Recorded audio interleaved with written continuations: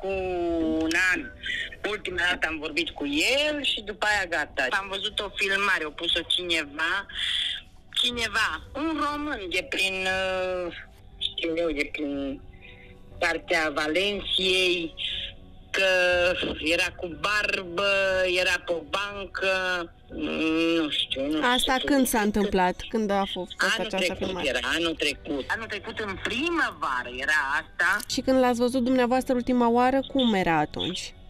Da, distrus, distrus, distrus, distrus, era distrus.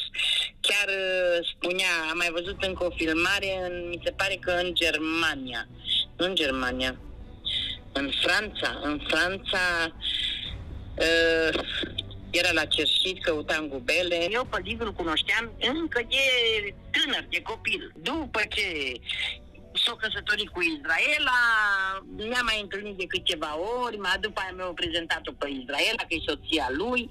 Apoi, într-un timp, am pierdut legătura, după aia, iarăși el a apelat. Adevărul e că el a iubit-o pe Israela.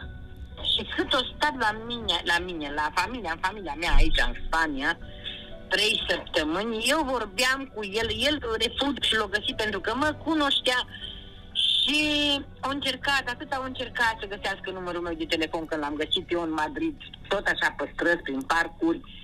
E, și au aflat de la o soră de-a mea numărul meu de telefon de aici. Acum doi ani, în toamnă, în toamnă, cam prin, uh, să nu exagerez, octombrie-noiembrie, m-a sunat de pe un număr de telefon și eu l-am întrebat, Liviu, unde ești?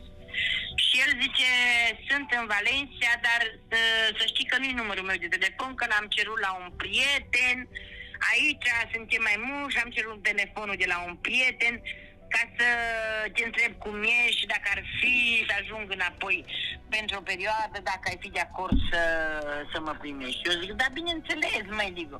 El cunoștea șase limbi și am găsit aici la un hotel la, cum să zic, ca recepționer și un salar destul de decent pentru el, 1300 plus cazar, cum să zic, n-ar fi plătit chirie pentru că îi dădea camere patronul la hotel. Zice, bine, o să te mai sun dacă o să fie nevoie, dar zic, doctor, mai Liviu, dăm un număr de telefon la, la unii prieteni, la cuiva, ca să poți să, te, să, să putem ține legătura. Nicio problemă, nicio problemă, zice, o să-mi cumpăr eu un telefon și atunci el, el știa numărul meu de telefon deja în memorie. Nu m-a mai sunat.